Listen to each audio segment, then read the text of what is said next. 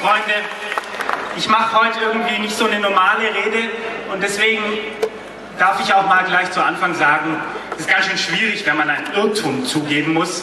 Ich war ja eigentlich immer dafür gewesen, dass wir diese ganze Stresstest-Show boykottieren. Ja. Aber jetzt muss ich sagen, liebe Freundinnen und Freunde, ich glaube, es war richtig gut, dass wir dabei waren. Sonst wäre dieses ganze Theater wohl noch ganz anders ausgegangen.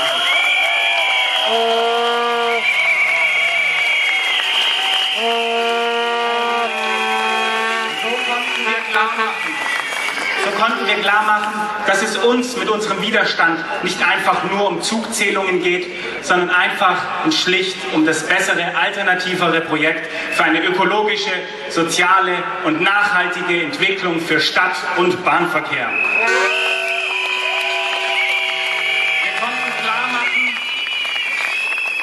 Dass der Kopfbahnhof heute schon so viel kann wie Stuttgart 21 und wenn man nur die gleiche Signal- und Leittechnik und vielleicht noch die Zulaufstrecken ausbaut, dann kann K21 mehr und in einer besseren Qualität, wie es Stuttgart 21 jemals können wird.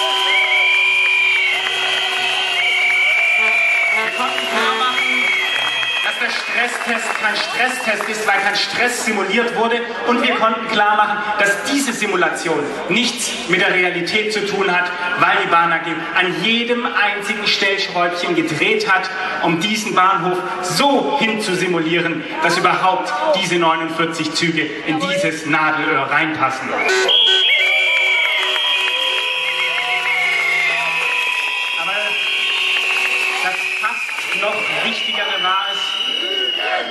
Das fast noch Wichtigere. Wir versuchen das mal, wir, wir, versuchen das mal ohne so viel Zwischenrufe, damit ich vielleicht durchkomme mit meinem, sonst dauert so arg lang. Aber jetzt, das fast noch Wichtigere für mich war aber, dass wir die unsäglichen Spielereien, die diesmal auch von Heiner Geißler ausgingen, durch unser konsequentes und klares Auftreten unterbinden könnten und so im Endeffekt Stuttgart 21 plus vom Tisch geschafft haben.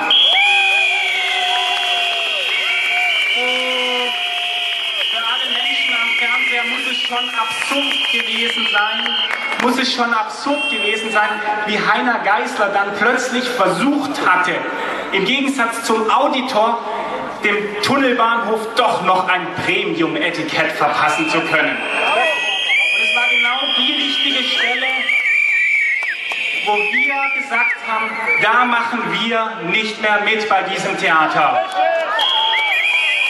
Und damit,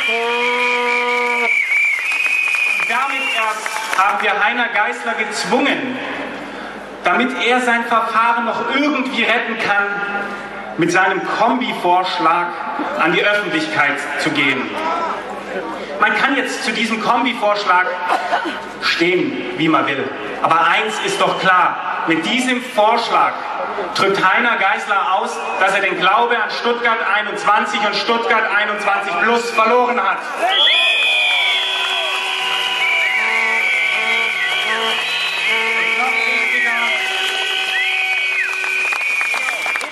Noch wichtiger für uns, die ja immer mit Argumenten argumentieren, ist, dass auch SMA damit bestätigt, dass der bestgeplante Bahnhof Deutschlands, der angeblich bestgeplante Bahnhof Deutschlands, eben lange nicht der bestgeplante und bestmögliche Bahnhof für diese Stadt ist.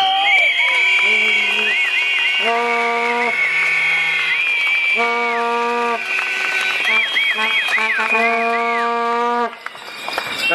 Bahn AG wieder alle Vernunft, wieder alle laufenden Planänderungsverfahren am Filtertunnel oder beim Grundwassermensch. Verträge vergibt, das ist eine klare Provokation an unseren friedlichen Widerstand.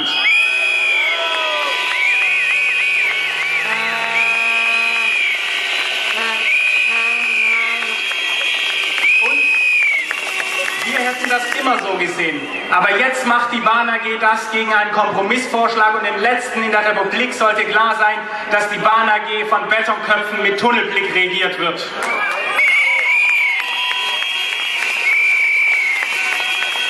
Wir begrüßen es. Wir begrüßen es, dass jetzt die neue Landesregierung diesen Vorschlag erstmal prüfen will.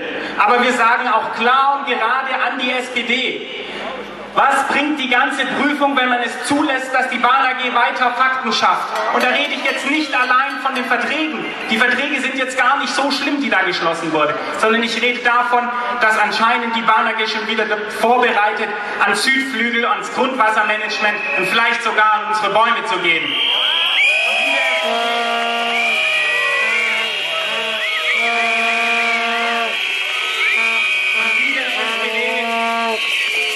Liebe SPD, man kann nicht einfach nur von Demokratie und Beteiligung reden, wenn man nicht dafür sorgt, dass hier die Bahn, dass hier die Bahn nicht einfach weiter Fakten schafft. Richtig. Sonst wird man als Partei nicht nur handlungslos, sondern auch irgendwann bedeutungslos.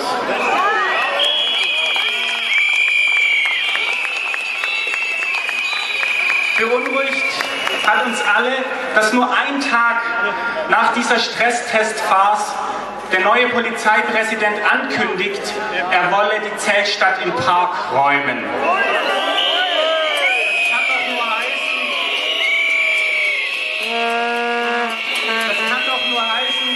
dass die Bahn AG uns weiter provozieren will. Und es hat mich so zornig gemacht, liebe Freundinnen und Freunde. Zum Glück hat sich dann gleich der Verstand gemeldet und hat dann gesagt, Achtung, wir dürfen uns unter keinen Umständen weiter von der Bahn AG provozieren lassen. Denn es ist doch genau das, was sie wollen, damit sie hinterher aus jeder kleinen Rangelei irgendwie eine Kriminalisierung und dann am Ende eine Spaltung unseres Widerstands hinkriegt.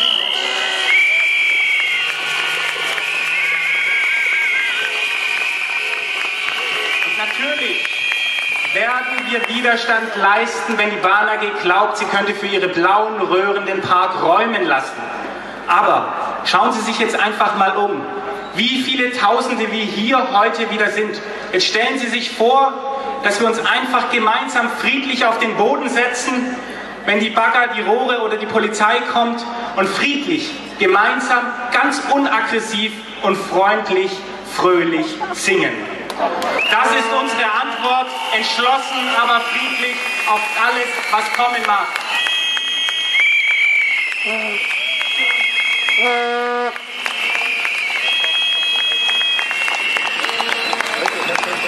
Der Sommer 2010 hat uns gezeigt, wir können uns auf unsere Kraft verlassen.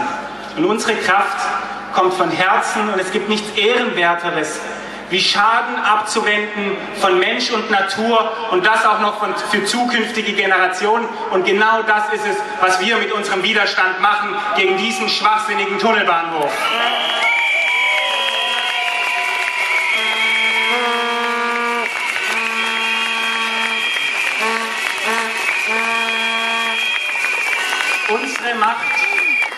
Unsere Macht und darum geht es im Endeffekt. Es geht im Endeffekt nur noch um Macht. Unsere Macht ist unsere Lebendigkeit, unser breiter Rückhalt bei der Bevölkerung und das statt Gewalt und unsere Unbeirrbarkeit jederzeit hartnäckig einfach wiederzukehren, mit freundlich, fröhlich oben bleiben.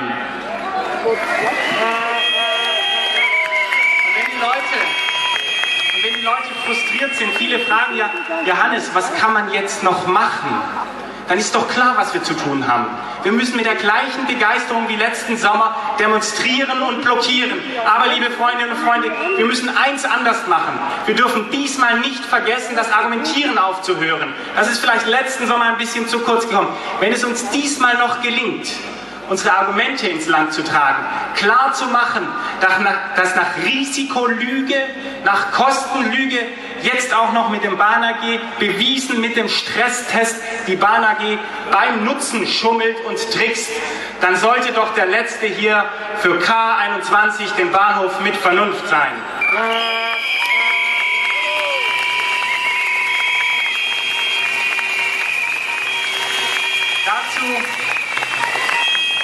Uns gehören leider keine Fernsehsender oder irgendwelche Zeitungen.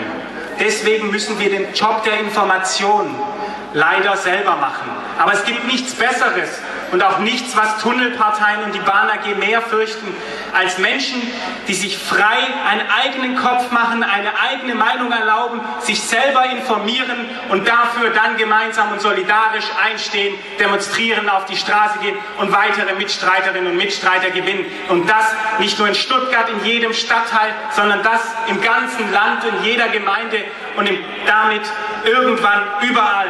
Denn unser Stuttgart ist überall oben bleiben.